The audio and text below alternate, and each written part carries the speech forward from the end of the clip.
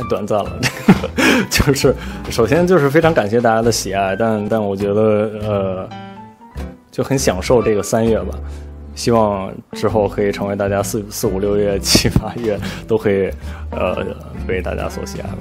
之前，白敬亭在采访中被问到，对于网友叫他在《你是我的城池营垒》中饰演的邢克雷三月男友怎么看？白敬亭表示，三月男友太短暂了，希望可以成为大家四五六七八月的男友，那可太好了，只要你愿意，一辈子男友都行。网友看到知乎，三月男友确实太短暂，那邢队长可以一直做我们的男友吗？哈哈，懂了，就是可以叫男友的意思。这是三月男友邢克雷，四季男友白敬亭的意思吗？果然不愧是白敬亭，时时刻刻都让人充满欢乐。